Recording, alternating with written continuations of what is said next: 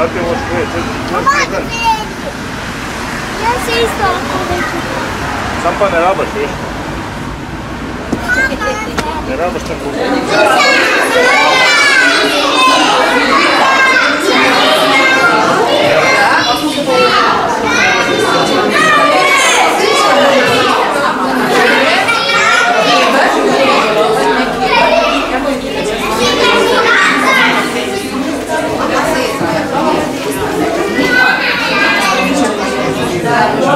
Luka, Luka.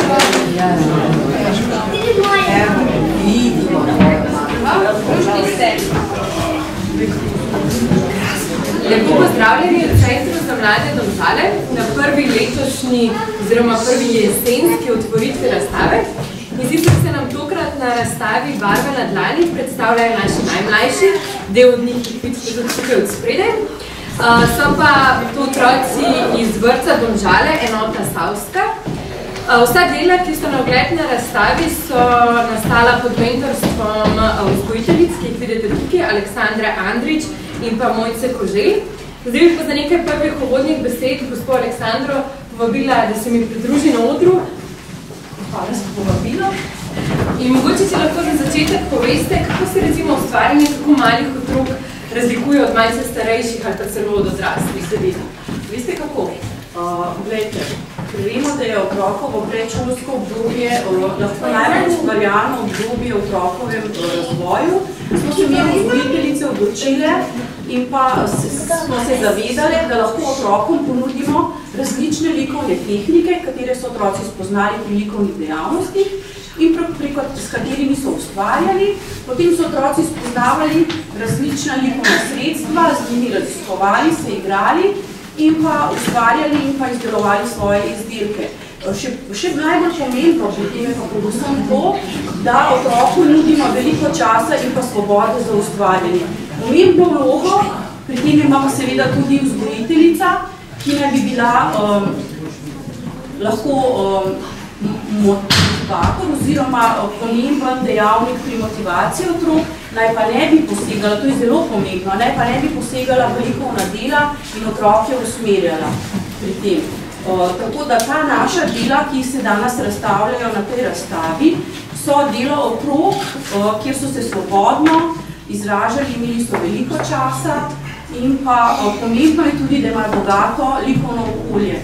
Ustvarjali smo v vrtu, v manjših skupinah, ustvarjali smo na vrščovskem vrtu, pa ustvarjali smo, kjer, um, kjer si boste ogledali to razstavo Cvetoče češnje, ustvarjali smo pri občinskem parku kar nekaj dni, ne samo likovno, smo tudi fotografirali in uh, to je pač en tak dodatek naši likovni vzgoji in pa likovnim dejavnostim v vrtu Savska.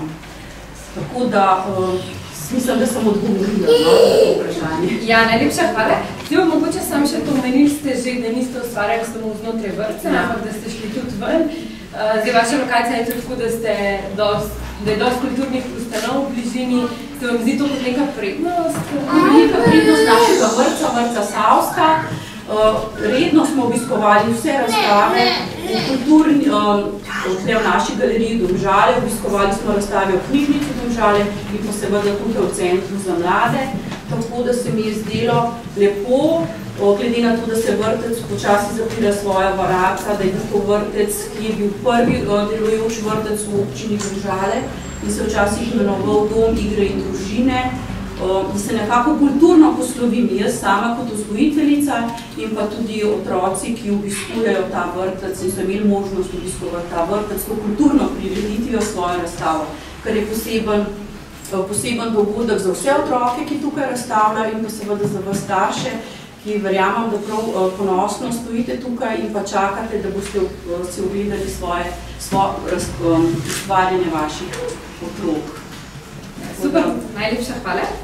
Zdaj bi pa mogoče še povabila, da se še najmlajši, ki so se pripravili na stop pod mentorstvom Mojce Kožej, še predstavijo svojimi tremi pesmicami, in sicer himno Savsko, Miška želi prijatelja in Pika Polonica, in da pokaže, da so v bistvu tudi kulturno udejstovanje, da lahko na različne načine se pravi, ne samo likovno, ampak tudi pevsko. Hvala lepa. Začnemo kar s Pika Polonica. Pika poka, pika polonica,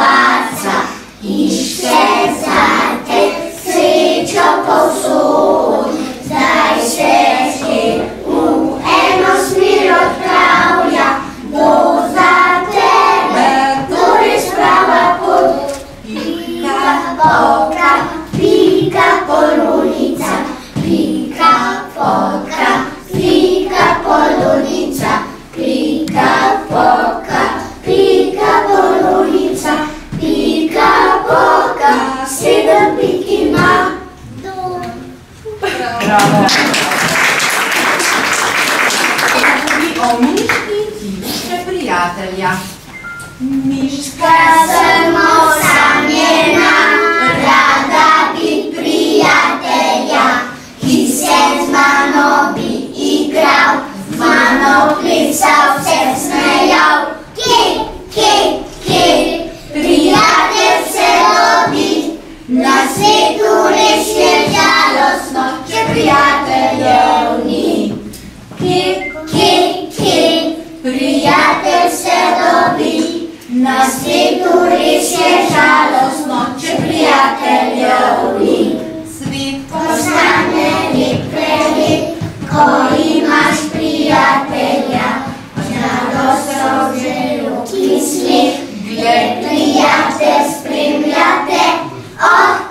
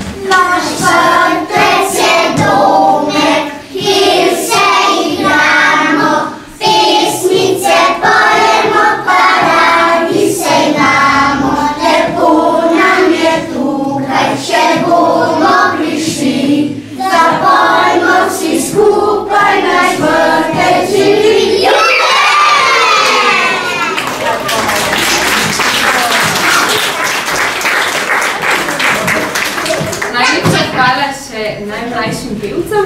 Zdaj bi pa za zaključek povabila Aleksandra pa Mojca, da se mi pridružite, da se v imenu Centra za mlade še zahvalimo.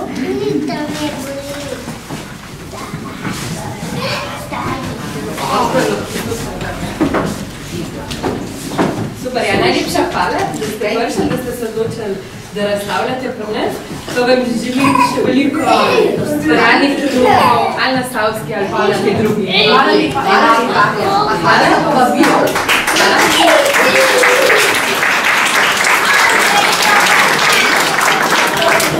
Zdaj pa vse skupaj še vabim, da si ogledate razstavo, pa da se malo pogostite v naših prostorih. Otroci, vi pa poiščete vsak svojega starša in si skupaj ogledate razstavo.